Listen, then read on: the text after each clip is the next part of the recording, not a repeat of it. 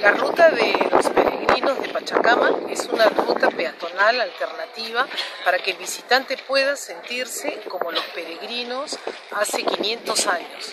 Uno llega, camina, ve un poco todo lo que estaba pasando hace 500 años. Está la construcción de la segunda muralla, están las evidencias de sismo y los canales prehispánicos que en cierta medida abastecían de agua aquí al santuario.